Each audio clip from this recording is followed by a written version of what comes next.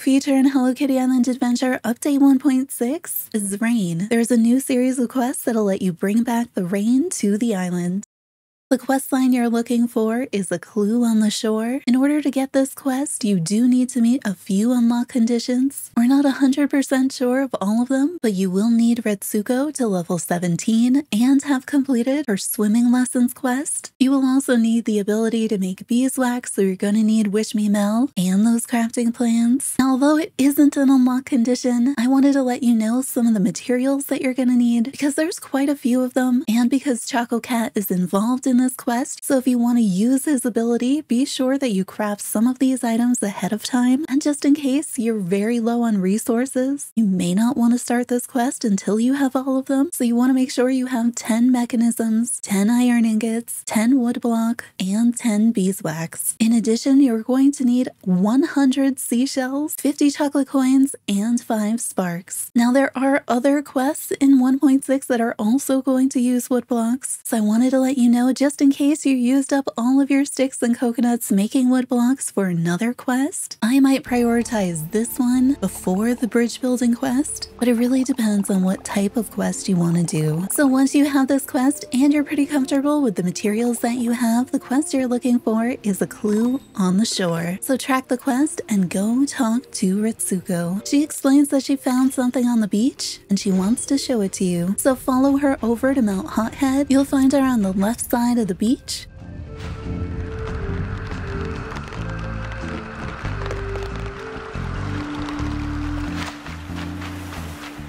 And she shows you a treasure chest that has a chain around it and says that you can probably get it open together, but she wasn't able to open it on her own. So go over and interact with the chest. You'll be able to open it and you receive a treasure map. Unfortunately, neither of you know how to read it and you don't recognize any of the landmarks on the map. Retsuko says that you should try talking to your friends, Keroppi, Badtz-Maru, and Pekkle to see if they have any ideas. And of course, to consult with Choco Cat.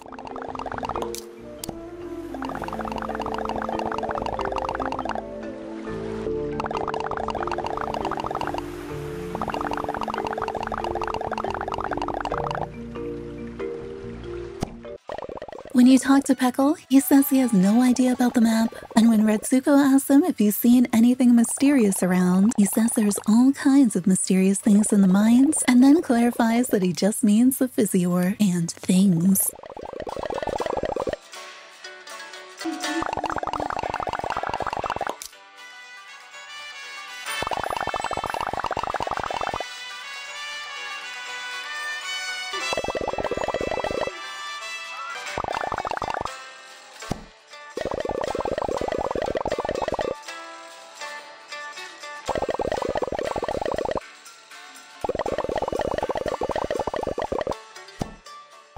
When you talk to Keroppi, he says that the island is magical and surprising, but he doesn't have any insights about the map. And one mysterious thing he's noticed, we've only had sunny days on the island.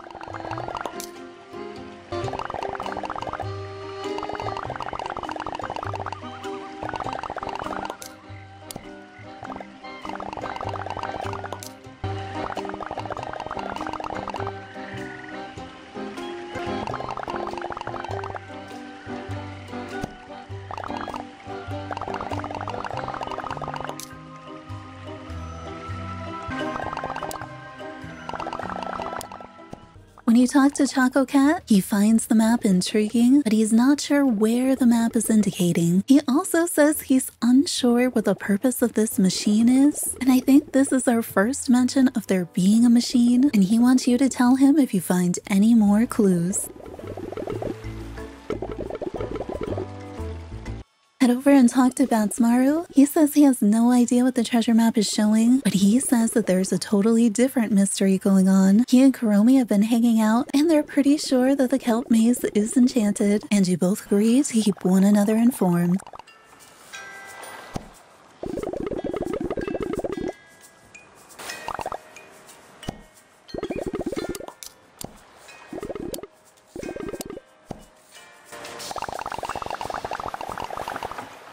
You and Retsuko regroup on the beach, talk to her back next to the chest, and she says the chest is the only new thing that she's noticed. But soon your friends arrive.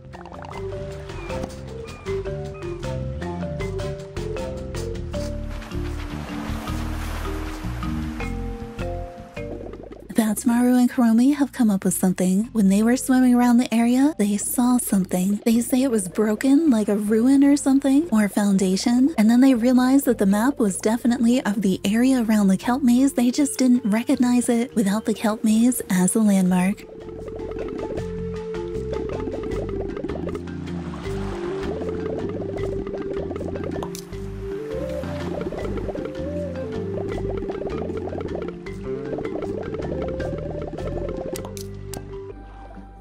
So follow everyone underwater. You can track them on your map and you'll find Retsuko to the right of the kelp maze.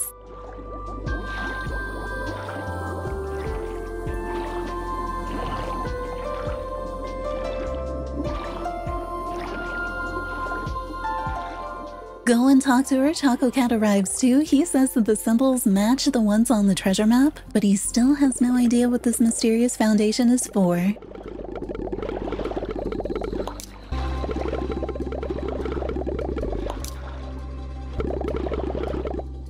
And he hopes to work backwards from these mysterious foundations and recreate whatever used to be here. He'll start at once and let us know when he has a plan. After that, it takes you directly to a cutscene by Choco Cat's tent, and he says he thinks he can recreate something similar to the object that was there. There's some discussion on whether or not this might be risky, building something in order to test it, something that we don't know what it does, that might accidentally introduce dinosaurs to the island.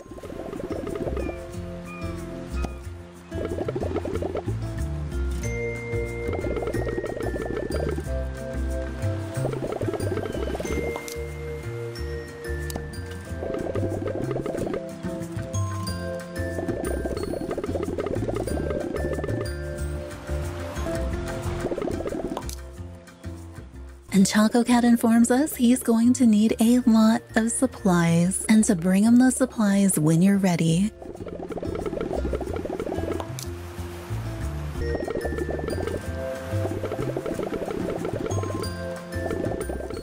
If you don't already have these supplies, what you're going to need are 10 mechanisms, 10 woodblock, 10 iron ingots, and 10 beeswax. I didn't have these already, and I couldn't bring Choco Cat with me to use his bonus because he's busy with the quest, so I just crafted everything that we needed. And this is where the quest is a little bit strange because the moment that you have all of the materials you need, the quest completes. This is kind of a strange place to break the quest, but that completes a clue on the shore, and this allows you to discover the next quest in the series, Island Stone. Luckily, you don't have to wait until Island Reset. You can continue this quest line right away. So track that Island Stone quest and go and talk to Choco Cat. When you do, he says this is a big project, but together we'll uncover a new secret to the island and that we should bring him the supplies when we're ready. This kicks off the Island Stone quest, and now we can head over to Choco Cat and gift him the supplies, and then he has us follow him to the foundation.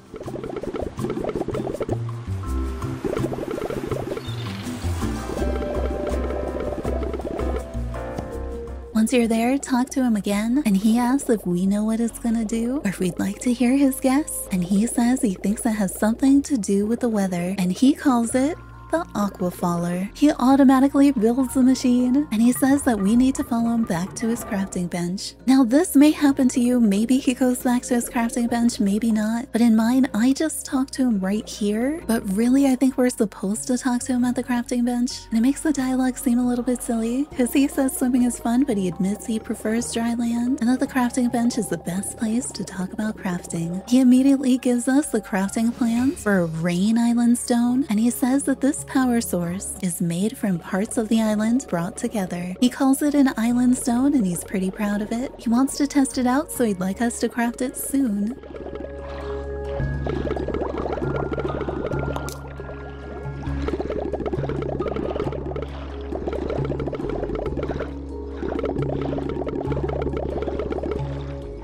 So head over to the crafting bench and craft the Rain Island Stone. For this you'll need 100 seashells, 20 chocolate coins, and 5 sparks. The Island Stone quest completes as soon as you craft it. So again, this is kind of an interesting breaking point for this quest line, but you will immediately discover a new quest, Rain or Shine. Again, we're lucky we don't have to wait until Island Reset to do this. Track the quest from your quest log and go and talk to Choco Cat. Now Choco Cat should be at his bench, but for me and for a lot of other people, Choco Cat got stuck underwater, but you'll still be able to go and talk to him. Yes, if we're ready to test out the Rain Island Stone and find out if it can power our new contraption, and this kicks off the Rain or Shine quest. So talk to Choco Cat at the Aquafaller. He says he thinks we're ready and asks us to do the honors. So if you go up to the machine and interact with it, you'll see the stone has been placed on the right side. The machine seems to start playing and making bubbles and sound, and we get a little pop up at the top of the screen saying it started to rain in Seaside Resort. And you can see little raindrops on the map on the left side. Go and talk to Choco Cat again. He's really excited that it works, but he's confused because he doesn't see an effect and he thought it was going to start to rain and then realizes that you're underwater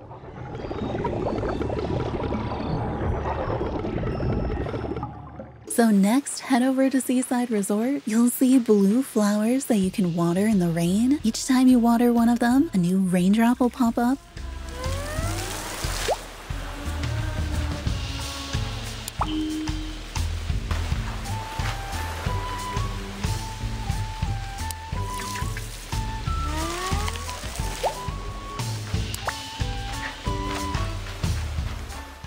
Choco Cat got stuck underwater, and this has happened for a couple of other people as well.